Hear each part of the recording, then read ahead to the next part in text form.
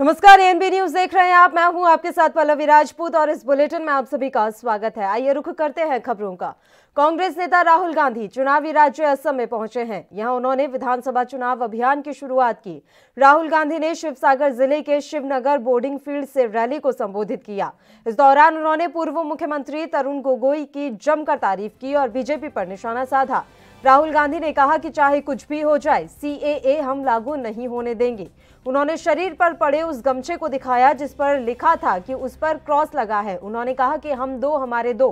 कान खल, कान खोल कर सुन ले कि सीएए नहीं होगा। राहुल गांधी ने सौ पचास रुपए के नोट और कुछ सिक्के दिखाते हुए कहा कि वह इससे बताएँगे कि बीजेपी देश में सीएए इसलिए लाना चाहती है। उन्होंने कहा कि असम के मजदूरों को एक रुपए मिलते हैं और गुजरात के कारोबारियों को टी गार्डन देते हैं। मोदी जी जानते हैं कि असम को तोड़कर ही वह यहाँ से चोरी कर सकते हैं। राहुल ने कहा, हम दो, हमारे दो, बाकी सब मर लो, असम से सब कुछ ले लो। देश को सिर्फ़ चार लोग चला रहे हैं। सब कुछ बोले, बजट में, लेकिन किसानों को कुछ नहीं दिया। असम में जाओ, बांटो और जो है वह ले लो। बस इतना ही। जो आपका है वह यह चाहते हैं। वह जानते हैं कि असम में आग लगा दी तो जा चाहे वहाँ ले सकते हैं।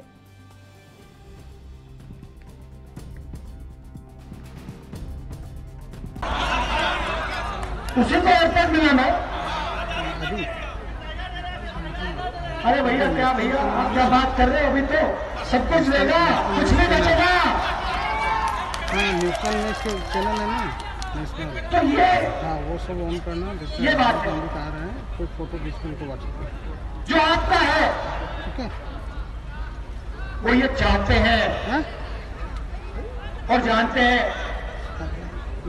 कि अगर आपको बांट दिया अगर यहाँ आग लगा दी तो जो भी लेना चाहते हैं ले लेंगे। और मैं यहाँ इसलिए आया हूँ और ये जो हमारे कांग्रेस पार्टी के नेता यहाँ खड़े हैं इसलिए आए हैं। हम आपको बताना चाहते हैं कि आसाम को दुनिया की कोई ताकत नहीं तोड़ सकती। और जो जो आसाम अकाउंट को छूने की कोशिश करेगा, जो यहाँ नफरत फैलाने की कोशिश करेगा, उसको आसाम की जनता और कांग्रेस पार्टी मिलकर सबक सिखाएगी।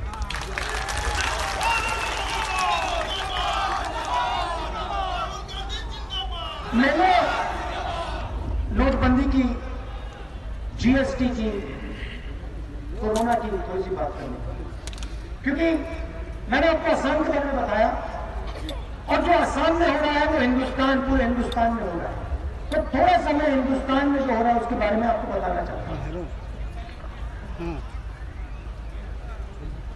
रोज़गार हिंदुस्तान में छोटे बिज़नेस मिडिल साइज़ बिज़नेस किसान और छोटे व्यापारी तैयार करते हैं, पैदा करते हैं। बड़े बड़े उद्योगपति रोज़गार नहीं पैदा करते। यहाँ युवा जो आए हैं, आपको तो मालूम है कि असम को अगर हम असम की बात करें तो युवाओं के सामने सबसे बड़ा मुद्दा रोज़गार का मुद्दा है। असम का युवा चलिए इस मसले पर चर्चा की शुरुआत कर लेते हैं। इस समय दो मेहमान लाइव हमारे साथ जुड़ गए हैं। रत्नाकर सिंह जी कांग्रेस से, इसके अलावा अमित त्रिपाठी जी, जो कि भारतीय जनता पार्टी से हैं। दोनों ही मेहमानों का स्वागत है एएनबी न्यूज़ पर। अमित जी, पहले मैं आपकी प्रतिक्रिया चाहूँगी। राहुल गांधी असम दौरे पर पहुँचे, वहाँ उन्होंने तमाम बातें कही और एक बार फिर से अपना बयान दोहराया है कि इस देश को सिर्फ़ चार लोग चला रहे हैं। राहुल गांधी को गंभीरता से लेते होगी देश तो गंभीरता से नहीं लेता है वो बार बार कितने अपरिपक्व हैं वो देश की जनता जानती है। लगातार ये चुनाव में भी 2019 का लोकसभा चुनाव हो चाहे फिर 2014 का चुनाव हो ये लगातार यही बातें कहते आ रहे हैं लेकिन इनको बार बार मुखी खानी पड़ गई है क्योंकि आज इस तरीके से ये बताते हैं कि आसाम की आसाम में इन्होंने दस साल राज किया है। हम तो पहली बार आए थे वहाँ पर। आज वहाँ पर जो ट्राइबल वोटर का मुद्दा था उसको इन्होंने जो वहाँ के गरीब आदिवासी से उनकी जमीनों को कब्जाने का काम किया था, वहाँ पर हमारी सरकार आने के बाद से आदिवासियों को उनको ज़मीन का पट्टा दिया जा रहा है। हमारे प्रधानमंत्री जी अभी जाकर देख के आए। और आज जो जो आसाम के लोगों का हक था, जो योजनाएँ आती थी केंद्र में, वो घुसपैठियों को दी जाती थी। इसमें हमारी सरकार ने वहाँ पर सीए के लिए आवाज़ उठाई और सीए का कानून बनाकर वहाँ के आसामियों का जो हक था, उनको दिलाने का काम करने जा रही होगा राहुल गांधी जी जिस तरीके से है हमेशा उनकी एक आदत है हिला हिलाकर जो दिखा कर लोगों को गुमराह करने का प्रयास करते हैं, वो एक नौटंकी है और वो देश की जनता जानती है। इसमें उनकी बातों पर विश्वास नहीं करती है, क्योंकि चाहे सीए हो, चाहे किसान के हित के कानून हो, आज चाहे देश का वोटर हो, चाहे आसाम का, वो जानता है कि उनका भरोसा नरेंद्र मोदी जी में और नरेंद्र मोदी जी जो भी दिन लेकर आ रहे हैं, वो आसाम के हित में है, देश के हित में है। इसमें जन आसाम की जनता उनके साथ है। आज ये छात्रों की बात कर रहे हैं। आज आसाम के छात्र राज्य छोड़ छोड़ के अपने राज्यों को छोड़ छोड़कर दूसरे राज्यों में पढ़ाई के लिए जाते थे, उसका मुद्दा उस समय इन लोगों ने क्यों ऐसी यूनिवर्सिटी नहीं बनाई कि वहाँ के छात्र वहीं रहकर पढ़ाई करें? ये क्यों नहीं कर पाए? आज हमको सिखा रहे आज हमसे पाँच साल का हिसाब मांग रहे हैं, लेकिन इनके दस साल में इन्होंने क्या कृत्य किए हैं? कितने कुकृत्य करने का काम किया, वो भी आसाम की जनता ने देखा। और मैं कहना चाहता हूँ, ये से सोना बनाने वाले लोग हैं, ये चांदी का चम्मच से पैदा होने वाले लोग ये देश की संस्कृति को बिगाड़ने वाले लोग हैं। ये इतने के लोग हैं, इनको देश की संस्कृति, भारत की संस्कृति नहीं पता है। इसलिए देश को गुमराह करना चाहते हैं। ये वही राहुल गांधी है, जो पूरे चुनाव में चौकीदार चोर है। चौकीदार चोर का नारा लगवा रहे थे प्रधानमंत्री जी के लिए। फिर तो जैसे वो चुनाव खत्म हुआ, चुप से जाकर सुप्रीम कोर्ट में इन्होंने माफ़ी मांगने का काम किया था। ये भी देश की जनता ने देखा इनकी बातों पर किसी को कोई भरोसा नहीं है। और मैं आपको बहुत भरोसे के साथ कहना चाहता हूँ कि दो तिहाई बहुमत के साथ हमारी सरकार फिर असम में बनेगी। और ये एक आज मैं पूछना चाहता हूँ कि आज ही आसाम की याद क्यों आई इनको? चार साल से कहा थे? जब जब चुनाव हम जीत गए हमारे चुनाव जब जीतने के बाद से ये कहाँ गए थे? आज चुनावी मौसम में चुनावी टूरिज़्म को बढ़ाने के लिए वहाँ पर आए। ये आसाम की जनता जानती है लोग इनका भरोसा नहीं करते हैं। राहुल गांधी एक परिपक्व परिपक्व नेता है देश जानता है। ठीक है आपसे सर्टिफिकेट कोई नहीं मांग रहा है। रत्नाकर जी राहुल गांधी कह रहे हैं कि मैं असम को बचाने आया हूँ। किस चीज़ से बचाने आए हैं? वहाँ ऐसा क्या हो रहा है कि असम डूब रहा है और उन्हें बचाने की ज़रूरत पड़ रही है? मैं आपसे डिबेट शुरू करने से पहले एक रिक्वेस्ट करूँगा कि मेरे मित्र मेरे मित्र जो है अपना टाइम दे चुके हैं। मैंने उनके बीच में एक बार भी इंटरप्ट नहीं किया है। हम्म। बड़ी शांतिपूर्वक उनकी बातें को सुना है। तो मैं जो कहने जा रहा हूँ जो तथ्यों को पेश करने जा रहा हूँ मेरी उम्मीद है कि ये भी बीच में इंटरप्ट नहीं करेंगे। नहीं तो डिबेट करने का कोई मतलब नहीं रहेगा। जैसा कि पिछली बार आ, मेरा अनुभव इनके साथ रहा है। बात सुनने की क्षमता भी होनी चाहिए अगर कोई बोलता है तो। ठीक है अमित जी अमित जी ठीक है आराम से और मैं रिक्वेस्ट करूँगी दोनों मेहमानों से कि हम एक एक करके ही बात करेंगे ताकि तो आराम से बात रखी जा सके। अमित त्रिपाठी जी उंगली नीचे कर लीजिए और आराम से बात करते हैं। हम यहाँ लड़ने नहीं आए हैं आए हैं। मैं दोनों के लिए कह रही हूँ अमित त्रिपाठी जी देखिए अभी उन्होंने बात रखना शुरू भी नहीं किया है। मैं वही कह रही हूँ हम एक एक करके बात करेंगे मैं दोनों को बराबर समय दूँगी सर। ठीक है बोलिए रत्नाकर जी। देखिए जैसा कि मेरे मित्र कहे हैं कि अपरिपक्व नेता है तो अपनी नाकामियों का ठीकरा दूसरे के ऊपर फोड़ने से गलती जो है माफ़ नहीं किया जा सकता। अगर आप देख ले तो राहुल गांधी जी ने बड़ी संजीदगी के साथ अपनी विपक्ष के नेता की भूमिका निभाई है। और हर एक मुद्दे पे वो खुलकर बोले हैं जहाँ पे विपक्ष को बोलना चाहिए। सबसे पहले इन्होंने अभी मुद्दा उठाया है कि जो चीन में सेना ने वहाँ पे फिंगर फोर तक हमारा कब्जा था, वो हमारी सेना जो नेगोशिएशन करके वो फिंगर थ्री तक आ गई है। चीन हमारी, हमने गिव किया है टेक वाला काम कोई नहीं किया है। चाइना ने सिर्फ़ टेक किया है, कोई गिव नहीं किया है। तो नरेंद्र मोदी जी कहीं ना कहीं भारत की भूमि, जो अखंड भूमि है, वो चाइना को देने का काम किया, ये उन्होंने मुद्दा उठाया है, पहली चीज़। दूसरी चीज़ उन्होंने कहा है कि रोज़गार का मुद्दा उठाया है। आज मेरे मित्र कह रहे हैं कि अपरिपक्व नेता है, मैं इनकी बातों को जरा दूसरे तरीके से ले लेता हूँ। आप मुझे यह बता सकते हैं क्या कि आज़ादी के बाद आज सर्वाधिक बेरोजगारी दर क्यों है? नौ प्रतिशत बेरोजगारी दर हो चुकी है आज पूरे देश में, जो राहुल गांधी घूम घूम के हर व्यक्ति को यह बताने की कोशिश कर रहे हैं और बताना चाह रहे हैं कि मोदी सरकार सिर्फ़ अच्छे दिन आएँगे कि जुमले साबित करने में तुली हुई है, अच्छे दिन कभी आए नहीं। कारण उसका यह है, अच्छे दिन आए हैं, सिर्फ़ किसका? हम दो, हमारे दो। यानी चार लोगों के अच्छे दिन आए हैं। अगर आप देखेंगी तो एक प्रतिशत भारत की जनता के के पास 73 प्रतिशत संपत्ति है। यानी कि यह पूंजीपतिया यह सरकार पूंजीपतियों का मुखौटा बन पूंजीपतियों के लिए काम कर रही है, आम जनता के लिए कोई काम ना काम नहीं कर रही है। अगर आप देखेंगी तो प्रति व्यक्ति आय भी माइनस फाइव परसेंट हो चुका है आज के डेट में। और यह भारतीय जनता पार्टी का यह चरित्र रहा है कि यह कहीं भी जाती है तो वहाँ पे सिर्फ़, अगर आप बंगाल का भी उदाहरण ले तो वहाँ पे भी हिंद राम और दुर्गा के बीच में इन्होंने एक फासला बना दिया। हिंदू हिंदू कोई राम की तरफ़ है तो कोई दुर्गा की तरफ़ है। अरे भाई, आप हिंदू हो के इस हिंदू के हिंदुओं के बीच में इस तरह की भावना क्यों भर रहे हैं? राम भी विष्णु के अवतार थे और दुर्गा जो है दुर्गा आदि शक्ति है। तो उनमें कोई फ़र्क नहीं है। लेकिन आप चुनावी राजनीति को लेकर जो वहाँ पे राम और दुर्गा के बीच में जो फासला बना रहे हैं हिंदू और मुसलमान के बीच खाई बढ़ाकर जो ध्रुवीकरण की राजनीति कर रहे हैं, ये ध्रुवीकरण की राजनीति अब आपकी ज़्यादा दिन तक चलने वाली नहीं है। आप ये समझ जाइए कि देश की जनता ये समझ चुकी है कि यह सिर्फ़ जुमलेबाजों की सरकार है। बड़ी बड़ी बातें आगे विधानसभा में विधान परिषद में, संसद के दोनों शब्दों में घड़ियाली आँसू बहाते हैं सिर्फ़। लेकिन अगर सच्चाई देखा जाए, आंकड़ों को देखा जाए, तथ्यों को देखा जाए तो इनके अच्छे दिन अभी तक आए नहीं है। छह साल में देश की जीडीपी जो है, अभी तक सर्वाधिक माइनस में पहली बार पहली बार ये इतिहास में हुआ है कि जे देश की जीडीपी जो है माइनस तेईस पॉइंट नाइन परसेंट चली गई।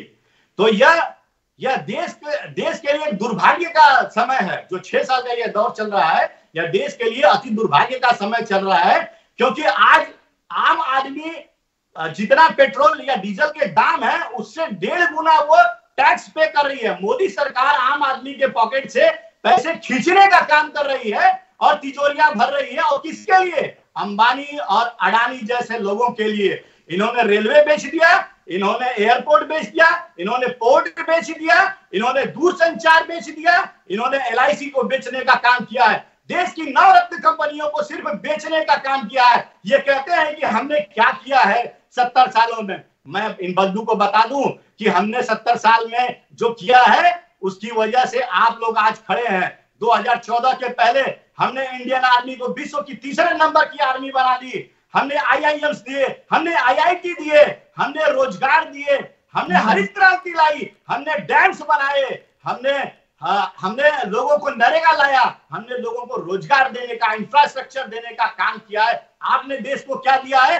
आपने देश को सिर्फ़ जुमला दिया है सिर्फ़ और सिर्फ़ जुमला दिया है। ठीक है। अब बोलिए अमित त्रिपाठी जी, देश को जुमला दिया है, तमाम चीज़ें आपने बेच दी असम भी आप बेचने की तैयारी में है, इसलिए राहुल गांधी वहाँ पहुँचे हैं। देखिए, आपने सत्तर सालों में क्या किया, वो भी मैं आपको बता देता हूँ, आप कुछ बताना भूल गए। आपने आकाश से पाताल धरती तक तीनों जगह घोटाले ही घोटाले किए। आपने देश को सत्तर सालों में सत्तर साल आज़ाद होते ही हमारे देश को बांटने का काम आप लोगों ने किया। अब आप आइए चीन की बात पर, आपने चीन का मुद्दा उठाया। आपको पता नहीं है, ये नेहरू की सरकार नहीं है। हज़ारों एकड़ ज़मीन देकर वहाँ तक लोगों को बुला गया। हमारी सेना को वापस बुला लिया गया था और चीन को दे दिया गया था। ये नरेंद्र मोदी जी की सरकार है।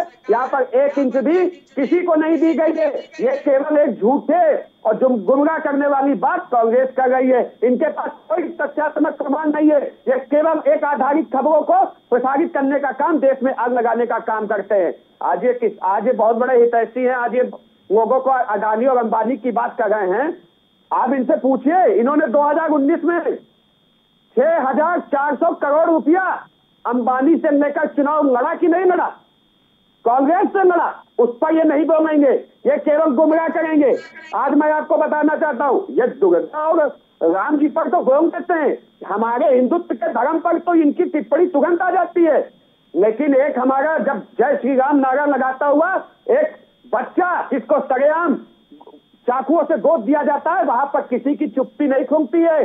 तब आप कहा चले जाते हैं? दूसरे धर्म पे बोलने क्या की हैसियत नहीं बात सर बस इतनी सी है कि चुनाव को धार्मिक आधार पर क्यों लड़ा जाता है? वो ये पूछना चाह रहे थे। अमित जी मैं तुरंत आपके पास लौटूँगी। एक छोटे से ब्रेक के लिए हमें बुलेटिन में रुकना है। मैं फ़ौरन हाजिर होंगी।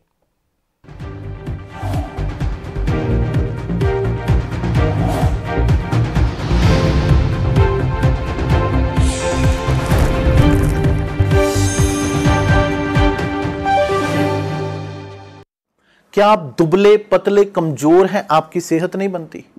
भूख कम लगती है, वज़न नहीं बढ़ता। दरअसल, मेन बात खाना पीना खाना नहीं है।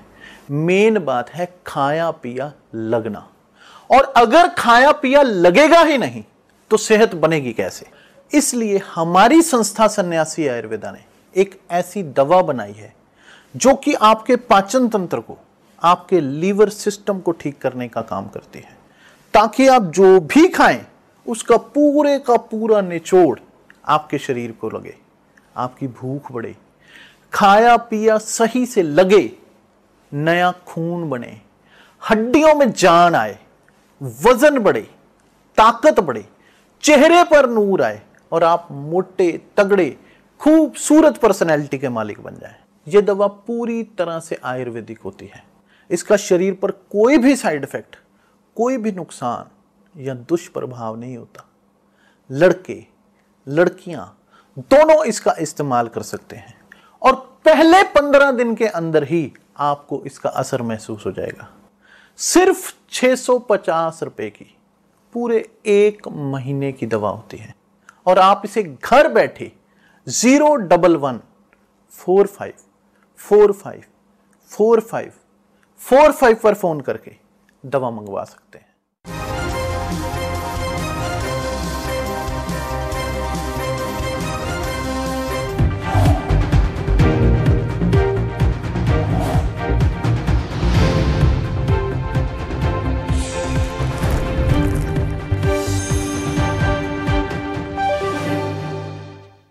ब्रेक के बाद एक बार फिर से आप सभी का स्वागत है। राहुल गांधी असम के दौरे पर है और इसके बाद से वहाँ का सियासी पारा गर्म है। दोनों मेहमान लगातार हमारे साथ जुड़े हुए हैं। अमित जी, मेरा एक सवाल है आपसे। हमेशा चुनावों को धार्मिक आधार पर हम क्यों लड़ते हैं? क्यों पूरा इस तरीके से हम माहौल बना देते हैं कि उसमें राम मंदिर की भी एंट्री हो जाती है, हिंदू मुसलमान भी हो जाता है? मुद्दों पर क्यों नहीं चुनाव लड़ा जाता? विकास का मुद्दा, रोज़गार का मुद्दा, इन मुद्दों पर हम क्यों नहीं लड़ते हैं? अब राहुल गांधी पहुँचे हैं असम। वहाँ जाकर उन्होंने विकास, रोज़गार सीए ये मुद्दे उठाए हैं। तो इन पर बात बात करना भी तो ज़रूरी है। बिल्कुल बात करना ज़रूरी है। बात होनी चाहिए, बात हो भी गई है। लगातार इनको राहुल गांधी को आज मैं पूछना चाहता हूँ ना कि केवल भारतीय जनता पार्टी के राज्यों में जाके आपको ये विकास की, गंगा मारने की बहुत चिंता रहती है।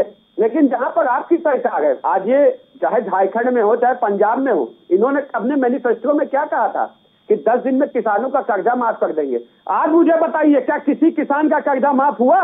नहीं हुआ। आज मैं पूछना चाहता हूँ अभी ये बड़े बड़े बात कर रहे थे कि लोकतंत्र में आते हैं भाषण दे जाते हैं।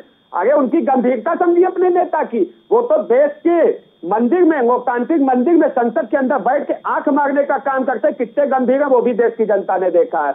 अब जहाँ तक की बात है ये लगातार जो आज युवा बेरोजगारी की बात करते इनसे पूछिए ना कि इन, इनके रहते आज सरकार में। जहाँ पर इनकी सरकारें हैं, वहाँ पर कितनों को रोज़गार दे दिया? आज आज राजस्थान में आईटी के छात्र लगातार 25 दिन से धरने पर बैठे उनकी सुनवाई क्यों नहीं हो गई? रोज़गार दीजिए ना उनको। क्यों नहीं दे रहे आज वहाँ पर टीचर जाकर आत्महत्या कर रहे हैं। टीचरों की जो भर्तियाँ होनी थी, जिनका इन्होंने वादा किया था, वहाँ पर भर्तियाँ नहीं होगी, उस पर कौन आवाज़ उठाएगा? आज जिस तरीके से पंजाब में इन्होंने कहा था कि हमारे आने के बाद आज हम लोगों का कर्जा माफ़ करेंगे और भी बुनियादी सुविधाएँ देने का काम करेंगे, किसानों को कनेक्टिविटी से जोड़ने का काम करेंगे, वाईफाई की व्यवस्था करेंगे। क्या एक भी आपको व्यवस्था दिखाई दी? पंजाब में देखिए, सिर्फ़ और सिर्फ़ आप राजनीतिक टूरिज़्म करने के लिए आप अलग अलग राज्यों में जा रहे हैं। आपका एक ही मकसद है कि देश में किसी तरीके से आग लगाई जा सके और हम अपनी राजनीतिक रोटियाँ सेक सके। लेकिन देश की जनता इतनी समझदार है कि वो कल आपने देखा मैं आज आपको एक और चीज़ बताता हूँ कि कल आपने देखा कि राजस्थान में थे कहा इनकी सरकार है। हम्म। वहाँ पर राहुल गांधी जी एयरपोर्ट पर तीन घंटा इंतज़ार किए। वो इनको बताना चाहिए कि वो इंतज़ार क्यों कर रहे थे? क्योंकि जिस रैली को वो संबोधित करने आए थे, वहाँ पर भीड़ ही नहीं इकट्ठा हो गई थी। तो ये तो राहुल गांधी की है इतनी कि उनको कैसे देश की जनता सुनती मैं आपके प्रमाण के साथ बात कर रहा हूँ। केवल और केवल टीवी पर आके और अपने लोगों के बीच में जाकर आप विकास विकास विकास आपको 2014 से ये चीज़ें चिल्ला गए लेकिन देश की जनता आपको क्यों नहीं सुन रही है? इस पर चिंता कीजिए। कितने गंभीर है? जब देश की संसद चल रही होती है, जब ज़रूरी मुद्दे उठाने होते हैं तब राहुल गांधी छुट्टी मनाने इतनी चले जाते हैं और देशों में नए साल को जश्न मनाने चले जाते हैं। कितने गंभीर है, ये भी बताना चाहिए इनको। आज केवल और केवल इनको लगता है, ये केवल देश से देश सेना के तौर पर सवाल उठा के चुनाव जीत लेंगे क्या? क्या ये केवल और केवल देश की अस्मिता के साथ खिलवाड़ करने के साथ, लोगों के साथ खड़े होने में, लोगों के साथ ये देश का चुनाव जीत है आज देश की जनता बंटवारे से हट के आज मोदी जी के साथ इसमें खड़ी है, क्योंकि देश की जनता को भरोसा है कि देश के प्रधानमंत्री नरेंद्र मोदी जी जो भी कदम उठा रहे वो देश हित में, राष्ट्र हित में और राष्ट्र हित में जो भी काम करेंगे नरेंद्र मोदी जी उसमें पूरा भरोसा जनता के साथ तो जनता मोदी जी के साथ पूरी तरीके से खड़ी है, इसमें इन लोगों के पास कोई और विषय नहीं, इसमें लगातार वही मुद्दे उठाते हैं जिससे जनता उठ चुकी है। ठीक है। बोलिए रत्नाकर जी, बहुत हँसी आ रही है आपको, शायद पच नहीं रही होंगी बातें। जी, बिल्कुल मैं पहले चीज़ की, जैसा कि आपने बहुत ही सही सवाल हमारे मित्र से पूछा आपने कि आप सिर्फ़ धार्मिक रंग ही क्यों दे रहे हैं? आप बाकी मुद्दों पे क्यों नहीं बात कर रहे हैं? तो हमारे मित्र के पास कोई जवाब था नहीं। अल्टीमेटली ये घूम के वहीं पे जाएँगे जहाँ पे इनको जाना है। राष्ट्रवाद, झूठे राष्ट्रवाद की बात बताएँगे, मंदिर की बात बताएँगे, देवी देवताओं की बात बताएँगे। ये नहीं बताएँगे कि आखिर में क्यों यह विकास की बात नहीं करते? आखिर क्यों रोज़गार की बात नहीं करते आखिर क्यों ये जो किसान है उनकी बात नहीं करते? ये बात सिर्फ़ करते हैं किसकी? अंबानी और अडानी की। इसलिए आम जनता से इनका कोई लेना नहीं है और सिर्फ़ इनको लेना है अंबानी और अडानी से। दूसरी बात मैं ये इनको कहना चाहता हूँ चाइना के संदर्भ में जो ये बता रहे थे कि जो हम छूट मूट का हो हल्ला कर रहे हैं तो मैं इनको याद दिलाना चाहता हूँ कि साढ़े अरुणाचल प्रदेश में यही चीन साढ़े चार किलोमीटर अंदर घुस के पूरा गाँव बसा लेता है। और हमारे हमारे जो रक्षा मंत्री है गृह मंत्री है प्रधानमंत्री है उस उस जो स्टेटस जो पहले का स्टेटस था जो विवादास्पद स्टेटस था उसको बदल दिया जाता है लेकिन हमारे देश के ये लोग जो नुमाइंदे हैं वो उस पर कोई ऑब्जेक्शन नहीं लग, ले पाते हैं। मैं आपको उदाहरण देता हूँ कि अगर अगर हमारा कोई पड़ोसी से विवाद है, कोई विवादित ज़मीन है तो पड़ोसी आकर उस विवादित ज़मीन पे कुछ अगर बनाता है तो हमारा यह पहला कर्तव्य होता है कि हम उसको नहीं बनाने दें, उसको रोक दें, क्योंकि वह विवादित है। इन्होंने ना ही वहाँ पे कोई कोई विवादित ज़मीन पे कोई एक्शन लिया, उन्होंने वहाँ पे पूरा गाँव बसाने दिया। आप, मैं बता दूँ कि यह पाकिस्तान के ऊपर चिल्लाते रहते हैं, लेकिन चाइना से इनकी ये हमारे प्रधानमंत्री मोदी जी डरते हैं। अठारह बार इन्होंने चाइना के राष्ट्राध्यक्ष से मुलाकात किया है। अठारह बार राष्ट्राध्यक्ष से मुलाकात करने का यही नतीजा है कि तुम हमारे घर में घुस के आके और पूरा गाँव बसा लो। तो यह कहीं ना कहीं कमज़ोर कूटनीतिक और राजनीतिक विफलता का परिणाम रहा है। ठीक है बोलिए अमित जी। देखिए बड़ी हँसी आती है और दुर्भाग्य है इस देश का कि एक जिम्मेदार कांग्रेस के नेता बैठे हैं यहाँ पर वो देश के प्रधानमंत्री को डरा हुआ बताते हैं। अगर डरे हुए तो आप थे तो आपने युद्ध छोड़कर उन्नीस सौ बासठ में जब हमारा देश हारा तो हारा इसी वजह से कि उस समय के नेहरू कहाँ पर छुट्टियाँ मना रहे थे, क्या कर रहे थे, उस समय की देश की जनता और आज की मीडिया को पढ़िए, उस समय की पता चल जाएगा। मैं कहना चाहता हूँ, अगर देश के प्रधानमंत्री जी डरे होते ना तो दो दो सर्जिकल स्ट्राइक पाकिस्तान में नहीं हुई होती। तो आप जिस टेंट कोई बात कर रहे हैं, उस टेंट को उखाड़ कर फेंकने का काम हमारी सेना ने किया देखिए, आप वो लोग हैं जो सेना से सबूत मांगने का काम करते हैं। आपने सेना को कभी फ्री हैंड किया नहीं। आपने तो सेना को राजनीतिकरण करने का काम किया था। आज हमारे रक्षा मंत्री राजनाथ सिंह जी ने भी जाते हैं, सेना के बीच में होली दिवाली मनाते हमारे देश के प्रधानमंत्री जाते हैं, होली दिवाली बनाते आप लोग कहा थे सेना को कब आपने मनोबल बढ़ाने का काम किया? आज हमारी आज हमारी अगर चुनौती है हमारे सामने तो उसकी सबसे बड़ी वजह आप लोग हैं। आप लोगों ने जिस तरीके से पाकिस्तान से समझौता किया है, आपने जिस तरह आपकी नीतियों की वजह से चीन से समझौता हुआ, उसका भुगतान आज भी भारत भुगत रहा लेकिन ये नरेंद्र मोदी जी की सरकार है, मज़बूत सरकार है। 135 करोड़ की जनता का भरोसा नरेंद्र मोदी जी में है। किसी की हैसियत नहीं है कि वो हमारे नरेंद्र मोदी जी को झुका सके, हमारे सेना को झुका सके, हमारे देश का एक इंच भी किसी की हैसियत हो तो लेकर दिखा दे। और जहाँ तक की बात आप कर रहे हैं, देखिए, आज नरेंद्र मोदी जी वो व्यक्ति हैं कि दुश्मनों की छाती पर चढ़कर उनकी चीज़ों को लेने का अधिकार रखते हैं। पीओके भी हमारा हिस्सा है और बहुत जल्दी आप देखिएगा जिस तरीके से वहाँ आवाज़ें उठ रही हैं, वो भी हम हासिल करने का काम करेंगे। आप तो वो लोग हैं जिन्होंने बंगाल को बांटने का काम करने का प्रयास किया था। आपने तो पाकिस्तान को हमारे देश से अलग करने का काम किया था। आपने तो बांग्लादेश को भी अगर सही रहते टाइम चीज़ें व्यवस्थित नहीं हुई होती तो आप असम को भी अलग कर चुके होते, आप कई और राज्यों को भी पाकिस्तान में मिलवा चुके होते। आप तो वो लोग हैं, आप क्या देश की बात करते हैं? आपने तो सिर्फ़ देश की अस्मिता और देश की छवि को बिगाड़ने का काम किया। आपके राहुल गांधी क्या कहते हैं?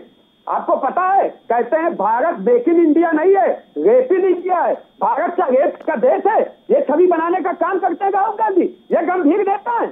ऐसे ऐसे परिपक्व परिपक्व नहीं नेता कहा जाता है। ये आप परिपक्व हैं, इनको देश की जनता इनको जानती है इसलिए इनके ऊपर भरोसा नहीं करती है। इनके में रैलियों में भीड़ इसलिए नहीं आती है क्योंकि राहुल गांधी को सुनने में इनके नेता ही परेशान है। राहुल गांधी के बयान को कई बार इनके नेता ही बचाने में इतने परेशान हो जाते हैं कि राहुल गांधी जी क्या बयान दे देते हैं कि हमको बचाना भी मुश्किल हो जाता है। देखिए, राहुल गांधी जी ने हमेशा इसकी अस्मिता और छवि को बिगाड़ने का काम किया, एक बार नहीं, हज़ारों बार इनके नेता गए, राजदूत, चीन के राजदूत और पाकिस्तान के राजदूतों से मिलकर कि हमें आपकी मदद चाहिए नरेंद्र मोदी जी को सत्ता से उखाड़ फेंकने के लिए।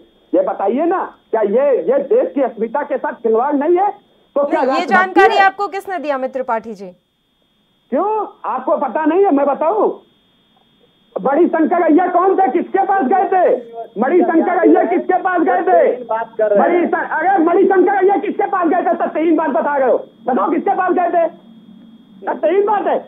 चैलेंज कर रहा हूँ तुमको मणिशंकर अय्या गए थे वहाँ पर कि नरेंद्र मोदी जी की सरकार को घर फेंकना चैलेंज कर रहा हूँ चैनल पर और बताओ।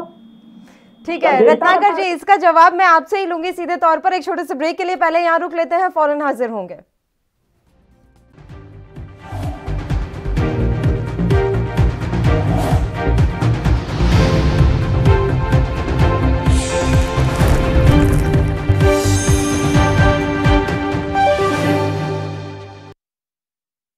पतले कमज़ोर हैं, आपकी सेहत नहीं बनती। भूख कम लगती है, वज़न नहीं बढ़ता। दरअसल, मेन बात खाना पीना खाना नहीं है। मेन बात है खाया पिया लगना। और अगर खाया पिया लगेगा ही नहीं तो सेहत बनेगी कैसे? इसलिए हमारी संस्था सन्यासी आयुर्वेदा ने एक ऐसी दवा बनाई है, जो कि आपके पाचन तंत्र को, आपके लीवर सिस्टम को ठीक करने का काम करती है। ताकि आप जो भी खाएँ, उसका पूरे का पूरा निचोड़ आपके शरीर को लगे, आपकी भूख बढ़े, खाया पिया सही से लगे, नया खून बने, हड्डियों में जान आए, वज़न बढ़े, ताकत बढ़े, चेहरे पर नूर आए और आप मोटे, तगड़े, खूबसूरत पर्सनैलिटी के मालिक बन जाए। यह दवा पूरी तरह से आयुर्वेदिक होती है। इसका शरीर पर कोई भी साइड इफ़ेक्ट कोई भी नुकसान या दुष्प्रभाव नहीं होता।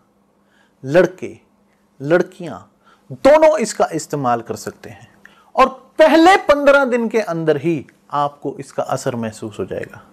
सिर्फ़ 650 रुपए की पूरे एक महीने की दवा होती है और आप इसे घर बैठे zero double one four five four five four five four five पर फ़ोन करके दवा मंगवा सकते हैं।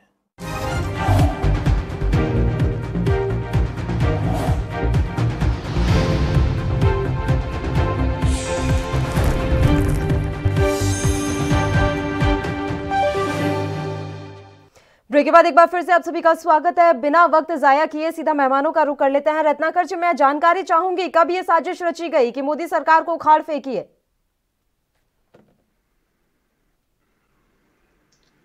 हेलो। बिल्कुल अमित त्रिपाठी जी कुछ दिखा रहे हैं अपने मोबाइल फ़ोन में? सर इतना क्लियर तो नहीं समझ में आ रहा है आप खुद ही बता दीजिए। जनवरी दो हज़ार बीस का अमर उजाला का वो है आप उस पर पढ़िए। साफ़ लिखा मणिशंकर अय्यर ने फिर पाक में एनआरसी पर चर्चा की थी।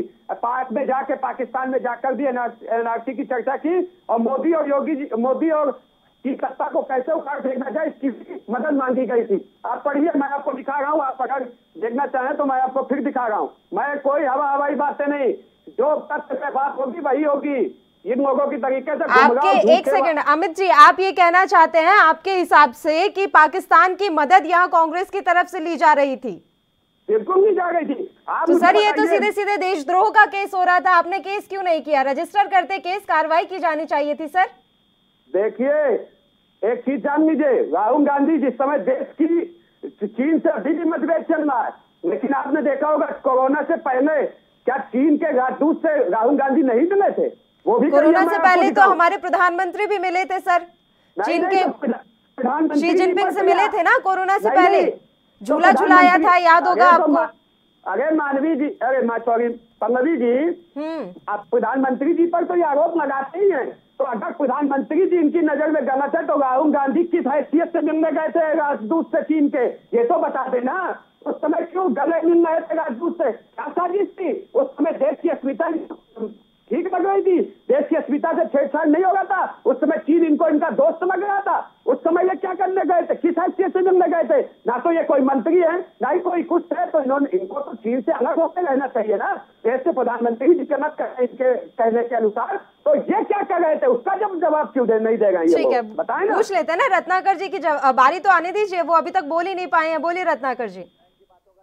दूँ, अनर्गल और तथ्यहीन आरोप लगाने की आदत भारतीय जनता पार्टी की है। व्हाट्सएप यूनिवर्सिटी से ज्ञान लेके आते हैं और आरएसएस की किताबों में जो इतिहास पढ़े रहते हैं जो आरएसएस ने पढ़ाया रहता है वही बातें करते रहते हैं। या भूल गए हैं शादी गांधी परिवार को और नरेंद्र मोदी जी को ऐसा बड़ा कद बता रहे हैं कि इतिहास में इस तरह का पुरुष नहीं हुआ। अरे आप गांधी परिवार की क्या बात कर रहे हैं? वह गांधी परिवार है जिसने दो दो प्रधानमंत्री खोए हैं जिसने दो दो अपनी जिंदगियों को शहादत दिया है। उस गांधी परिवार के बारे में आप आरोप लगा रहे हैं। जिसको जिसने पाकिस्तान के दो टुकड़े कर दिए उस गांधी परिवार के बारे में आप आरोप लगा रहे हैं आप आप- अपने गिरबान के अंदर झाँक के जरा देखिए। आप ही के प्रधानमंत्री जी नरेंद्र मोदी जी 18 ठीक है अमित त्रिपाठी जी आपका हम देख चुके हैं आप जो दिखाना चाह रहे हैं वो हमने देख लिया है लेकिन किसी लेख पर कैसे हम विश्वास कर लें? बात ये है। बात सुन लीजिए मेरी बात पूरी बोलिए रत्नाकर जी बोलिए बोलिए। ये ये आ, ये वही प्रधानमंत्री है नरेंद्र मोदी है जो जो जो जो पाकिस्तान बिना बिना इनविटेशन के पाकिस्तान जाते हैं और वहाँ पे सेवैया खा के आते हैं। उल्टा पाकिस्तान क्या करता है? उल्टा पाकिस्तान हमारे देश पर हमला करता है। आतंकी हमले होते हैं। तो यह कहीं न कहीं कूटनीतिक और राजनीतिक विफलता है इनकी। इसके अंदर विदेश नीति नाम के जो शून्य ज्ञान है इनके। इनको इनको राजनीति विदेश नीति के बारे में एकदम हर हर पहलू पे ये फेल हो चुके हैं। और ये वही प्रधानमंत्री हैं जो राष्ट्रीय अध्यक्ष से अठारह बार मिलते हैं, जो अहमदाबाद जाके झूला झूलते हैं, लेकिन चीन के सामने नतमस्तक हो जाते हैं। मोदी जी, हमारे वीर जवान वीर जवान जो शहीद हुए हैं वहाँ पे सीमा पे, वो वीर जवान शहीद नहीं होते। अगर इनकी कूटनीति, राजनीति, विदेश नीति अगर सही तरीके की होती तो हमारे वीर जवान आज शहीद नहीं होते। लेकिन इनकी इनकी राजनीतिक इच्छा शक्ति पूरी तरह से बढ़ चुकी है। इनकी इच्छा शक्ति क्या है? सिर्फ़ अडानी, अंबानी, हम दो, हमारे दो, बस इसी ढर्रे पे ये चल रहे हैं, क्योंकि ये देश पूरा अडानी और अंबानी को सुपुर्द करना चाहते हैं। कुछ आता नहीं है, क्योंकि जब तुम्हारी सरकार खुली थी पंजाब में तो जो पहली कैबिनेट मीटिंग हुई थी, उससे पहले अडानी के बात कीजिएगा अंबानी के साथ ही अमरिंदर सिंह बैठ कर बैठक किए थे ना वीडियो तो मैं दे देता हूँ, वो भी आपको। तो देखिए, आपका डोरा चरित्र देश की जनता जानती है, आपको सिर्फ़ चार चीज़ें पता है। कैसे? अडानी, अंबानी, इसके सिवा कुछ नहीं। आपको आपके लिए पाकिस्तान अच्छा है, आपके लिए चीन अच्छा है, आपके लिए जो भारत का विरोध करे तो नरेंद्र मोदी जी का विरोध करे, वो सब आपके लिए अच्छे हैं। लेकिन देश की जनता को आप अच्छे नहीं लगते हैं। ये देश की जनता ने 2014 में भी दिखाया है 2019 में भी दिखाया है। आप बार बार उसी झूठ को बार बार सच दिखाने का प्रयास कर रहे हैं लेकिन देश की जनता वो मानने वाली नहीं है। और आपको फिर उखाड़ फेंकेगी 2024 आते आंदे आपको जवाब मिल जाएगा। ठीक है अभी वो टाइम तो बहुत दूर है सर। पंजाब में स्थिति तो जान रहे हैं ना अमित त्रिपाठी जी आप कैसी हो गई है आपकी? कहाँ पहुँच गए हैं? उम्मीदवार नहीं मिले आपको नगर कौंसिल चुनाव के लिए। वो भी झूठ फैलाया गया होगा कांग्रेस की तरफ़ से। पल्लवी जी, मुझे लगता है कि मेरी ज़्यादा बातें कांग्रेस प्रवक्ता को कम तीखी लगती हैं, आपको ज़्यादा तीखी लग जाती हैं, लेकिन कोई बात नहीं, मैं उस पर भी जवाब दे देता हूँ। देखिए, हमने पहले भी कहा कि हमारी जो नीतियाँ हैं हमारे लिए राजनीति बाद में है, राजनीति पहले और राष्ट्र के लिए हमारा काम पहले रहेगा। वोट बैंक की राजनीति नहीं करते, लेकिन जो देश हित में काम होते हैं, वो हम करेंगे। हम देश से समझौता नहीं करेंगे, देश की नीतियों से समझौता नहीं करेंगे। देश के साथ जो भी देश के हित में होगा उसके लिए लगातार काम करेंगे वो हमारी सरकार कर रही है। देखिए ठीक है बहुत बहुत शुभकामनाएँ अमित त्रिपाठी जी। अगर आप इसी मंशा के साथ आगे बढ़ेंगे तो ज़रूर आपको ही सफलता हासिल होगी। रत्नाकर जी मेरा एक सवाल है। जब कोई बड़ा इवेंट होता है मान लीजिए कुछ राज्यों में चुनाव है या फिर जब कृषि आंदोलन शुरू होने लगा था किसान आंदोलन उस समय इतने ज़्यादा एक्टिव राहुल गांधी दिखाई दिए और अचानक गायब हो गई ये निरंतरता की कमी क्यों? विश्वास कैसे जगा पाएँगे आप? बीच बीच में तो गायब हो जाते हैं आपके नेताजी। और ये बात मेरे साथ साथ एनसीपी प्रमुख शरद पवार भी कह चुके हैं कि हाँ उनमें निरंतरता की कमी है। जी मेरे सवाल पूछ रही है जी सर मेरा आपसे ही ये सवाल है। राहुल गांधी के बारे में अमित त्रिपाठी जी नहीं देंगे जवाब। आपको ही देना पड़ेगा कि उनमें निरंतरता की कमी इतनी क्यों नज़र आ रही है? इसलिए कंफर्म करना पड़ रहा है मुझे। मैं अपने मित्र को बात कर रहा हूँ कि ये देश की नीतियों से समझौता नहीं करेंगे ऐसी बात कह रहे हैं। तो भाई साहब जरा आप बता देंगे कि जो अभी फिंगर फोर से फिंगर फोर तक हमारा कब्जा था वो फिंगर थ्री तक कब्जा क्यों हो गया? क्या आप बता देंगे कि जो पेट्रोलिंग राइट्स हमारे फिंगर एट तक होते थे वो फिंगर एट फिंगर एट तक पेट्रोलिंग लिया तो है। बात जानते हैं? आप केवल झूठ बोलना जानते हैं? आप तो यहाँ तक कहते थे। जवाब अमित त्रिपाठी जी एक बार जवाब ले लीजिए एक बार जवाब ले लीजिए सर। इनको जरा चुप कराइए। देश की नीतियों से समझौता करना चाह रहे हैं। मैं मैं और आगे जवाब देता हूँ। देखिए यह कृषि कानून जो है यह किसान अपना का, काम कर रहा था अपना कृषि उत्पादन कर रहा था ले जा रहा था मंडियों में बेच रहा था उसका आय जो है प्रॉफिट लेके अपने घर बार को चला रहा था। लेकिन मोदी जी बिना कैबिनेट में प्रस्ताव लाए बिना संसद में डिस्कशन किए बिना किसान प्रमुखों से डिस्कशन मशवरा किए हुए एक कृषि कानून लेके आए। यह कृषि कानून क्या किसानों के फ़ायदा के लिए था? बिल्कुल नहीं था। यह कृषि कानून चंद पूंजीपतियों के फ़ायदा के लिए लेके आए। तो ठीक है रत्नाकर जी मैं आपकी ये बात मान लेती हूँ। सर मैं एक चीज़ आपसे पूछना चाहती हूँ मैं एक चीज़ आपसे पूछना चाहती हूँ। सर मैं मान लेती हूँ कि बिना पूछताछ के बिना चर्चा के ये कानून जो है लेकर आए उस टाइम वॉकआउट क्यों कर गए? क्यों आम आदमी पार्टी के सांसद उठ उठ के वॉकआउट करके चले गए? क्यों आपके सांसद उठ के वॉकआउट कर गए? क्यों किया सर? शिवसेना क्यों चली गई उस समय सदन से? वहाँ बैठते ना विरोध जताते ना उस समय वॉकआउट ज़रूरी क्यों था आप लोगों के लिए? तंत्र में विपक्ष की जब बात रखनी होती है तो उस समय आप वॉकआउट कर जाते हैं और उसके बाद बहस करते हैं। अगर लोकतंत्र विपक्ष की आवाज़ नहीं सुनी जाएगी तो हम देश की जनता को बाइकआउट करके बताएँगे कि यह तानाशाही सरकार हो गई है जो एन केन प्रकार ये आप भी बहुत अच्छे से समझते हैं रत्नाकर जी आप मुझसे ज़्यादा अनुभवी हैं। वॉकआउट का मतलब आप भी भली भांति समझते हैं सर किस तरीके से परोक्ष और अपरोक्ष रूप से किसे फ़ायदा पहुँचाया जा रहा था? देखिए देखिए मैं बता रहा हूँ आपको कृषि कानून पास कराया गया इसमें जो वहाँ पे सांसद विपक्ष से बैठे हुए थे उनके ऊपर हो हल्ला का आरोप लगाकर उनको बर्खास्त भी कराया किया गया। वो बाद में हुआ था रत्नाकर जी पूरी सदन की कार्यवाही देखी है हमने अच्छे से। वो बाद में हुआ था उससे पहले वॉकआउट कर गए थे आम आदमी पार्टी शिवसेना। तमाम पार्टियों ने वॉकआउट कर दिया। शिवसेना तो आपके साथ महाराष्ट्र में सरकार बनाकर बैठी हुई है। बात करनी थी आपको। क्यों वॉकआउट किया? क्यों गए सांसद वहाँ से? जब आप लोगों को बातचीत करनी चाहिए, तब आप बात नहीं करते हैं। उसके बाद अब आप असम चले जाइए, पश्चिम बंगाल चले जाइए, राजस्थान चले जाइए, पंजाब चले जाइए, क्या फ़ायदा? क्या फ़ायदा? विपक्ष की भूमिका क्यों नहीं निभा पा रहे आप सही ढंग से? कोशिश की जाएगी, जब लोकतंत्र में विपक्ष की आवाज़ को सुनी नहीं जाएगी जब कौन नहीं सुन रहा? सर आवाज़ रखिए तो सही। आपकी आवाज़ तो कौन दबा रहा है? आप मुझे रत्नाकर जी आप पहले ये जवाब दीजिए आपकी आवाज़ कौन दबा रहा है? रत्नाकर जी मुझे कोई बात नहीं करनी है। सर आप मुझे ये बताइए आपकी आवाज़ कौन दबा रहा है? विपक्ष की आवाज़ कौन दबा रहा है? रत्नाकर जी। यह शीतकालीन सत्र को बर्खास्त करती है क्योंकि यह इनके पास जवाब नहीं था उस समय देने के लिए कि अभी तो था। बजट सत्र में में बात हुई है बजट सत्र में बात हुई है फिर कांग्रेस के सांसद चले गए वॉकआउट कर दिया बजट सत्र में जब पूछा जा रहा था कि इनमें क्या काला है बताइए मैं इन कृषि कानूनों के पक्ष में नहीं हूँ लेकिन मैं ये जानना चाहती हूँ फिर वॉकआउट क्यों किया? अब तो आपको किसी ने निष्कासित नहीं किया था आप वॉकआउट क्यों करके गए? जब आपसे पूछा जा रहा था कृषि मंत्री बार बार पूछ रहे थे कि बताइए इनमें काला क्या है बताइए इनमें काला क्या है फिर आप वॉकआउट करके चले गए। क्यों गए सर अब आपकी आवाज़ किसने दबाई? इस कृषि कानून में जो काला है वो भारतीय जनता पार्टी के नियत काली है। वह आम जनता के बारे में बासठ करोड़ किसानों के बारे के हित के बारे में नहीं सोच रही है। वह सिर्फ़ चंद पूंजीपतियों के बारे में सोच रही है। वही सबसे बड़ा काला है इनके मन में बैठा क्या हुआ काला आप है। ये लॉजिक क्या आप ये लॉजिक बता पाएँगे? रत्नाकर जी क्या ये लॉजिक काफ़ी है? कि सरकार की नीयत अच्छी नहीं है। सर आप विपक्ष में हैं। आप कैसे कहेंगे कि सरकार की नीयत अच्छी है? आप मुझे एक ऐसा पॉइंट बता दीजिए जहाँ विपक्ष ने ये कहा हो कि सरकार ने ये काम अच्छा किया। आप समझिए ये बात को अगर लोकतंत्र में अगर हमारी बात नहीं सुनी जाएगी तो हम हमारे पास यही एक हथियार है जिससे कि हम जनता को यह बता सकते हैं कि देखिए विपक्ष संसद में हमारी बात नहीं सुनी जा रही है। और लोकतांत्रिक तरीके से कानून को पास किया जा रहा है तो हम वहाँ पे बाइकआउट करेंगे। यही हमारे पास रास्ता बचा था उस समय। अमित त्रिपाठी जी विपक्ष नहीं चाहती भारतीय जनता पार्टी देश में। देखिए पल्लवी जी आपने एक जवाब सवाल पूछा उनसे कि देखिए एक, एक सिस्टम होता है संसद के अंदर कि भाई अगर वॉकआउट हो जाता है तो सदस्यों की संख्या कम हो जाती है। तो हमारे पास तो राज्यसभा में वैसे भी अभी बहुमत नहीं है। अगर ये चाहते तो वहाँ रुक जाता। इन्होंने क्यों वहाँ से वॉकआउट किया? संख्या कम कर दी जानकर और फिर वो बिल पास होगा क्योंकि ये खुद भी चाहते थे कि वो बिल पास हो जाए। लेकिन आप ये जहाँ तक किसानों की बात कर रहे हैं अभी तक इन्होंने कहा कि किसान नेताओं से राय नहीं ली गई।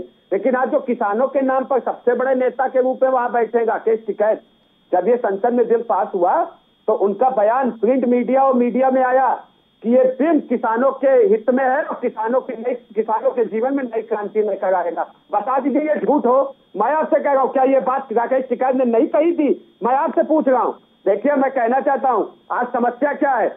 आज समस्या ये है देश हित में अगर हम भारत एनआरसी, तीन तलाक, राम मंदिर जैसे बड़े मुद्दों को काम करने का, निस्तारण करने का काम करते हैं तो वो कांग्रेस को चुभती है, क्योंकि कांग्रेस हमेशा इन मुद्दों को उमझा कर ही रखना चाहती थी, जिससे देश के विकास में ये सब घोड़ा बने रहे लेकिन नरेंद्र मोदी जी की सरकार, मैंने आपसे पहले भी कहा कि हम वोट बैंक की राजनीति करते होते तो इतने बड़े बड़े मुद्दों को हम ना कर पाए होते। अभी कल आपने देखा कि गुलाम नबी आज़ाद जी ने एक नया इंटरव्यू दिया है। उसमें साफ़ कहा है कि मैं जानता था, अगर 370 का मसला हल होगा तो उसको भारतीय जनता पार्टी ही कर सकती है। तो ये आज विश्वास है। आज हमें 135 करोड़ जनता का हमारे साथ भरोसा है। आज नरेंद्र मोदी जी के साथ भरोसा है। आज ये लोग कहते थे, नोटबंदी से देश को नुकसान हो गया जीएसटी से नुकसान हो गया। तो आप मुझे बताइए, नोटबंदी के बाद से दो चुनाव, तीन चुनाव, दस यू चुनाव हो चुके हैं। आप बताइए ना कि जनता तो हम पर भरोसा करती है।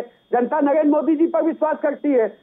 लेकिन समस्या ये है कि आज वो जवाब नहीं दे पा रहे हैं। आज जब कृषि मंत्री से पूछते हैं कि काला कानून में काला क्या है तो ये कहते हैं कि भारतीय जनता पार्टी की नीयत खराब है। अरे आप भारतीय जनता पार्टी को छोड़िए। आप ये बताइए कि उस कृषि कानून में काला क्या है। आप नहीं बता पाएँगे। क्योंकि समस्या ये है कि आपको कृषि कानून जो बना, उससे मतलब नहीं है। आपको केवल इस चीज़ से दिक्कत है कि वो भारतीय जनता पार्टी लेके आई है। इसलिए आपको विरोध करना है। 2010 में कृषि मंत्री शरद पवार जी थे। उन्होंने क्या बयान दिया था कि उन्होंने यही दिन लागू करने के लिए राज्य सरकारों को कहा था कि अगर आप इस बिल को लागू नहीं करते हैं तो राज्यों को जो वित्तीय सहयोग जाता है केंद्र की तरफ़ से, वो हम नहीं देंगे। 2013 में जब राहुल गांधी जी ने बैठक की थी, जब राहुल गांधी जी ने बैठक की थी और अपने मुख्यमंत्रियों के साथ तो उस बैठक में क्या कहा था? उसमें कहा था कि एपीएमसी की मंडियों की व्यवस्था को खत्म करेंगे उनको फ्री फ्री करेंगे अपनी किसान कहीं भी अपनी फ़सल बेचे जाके।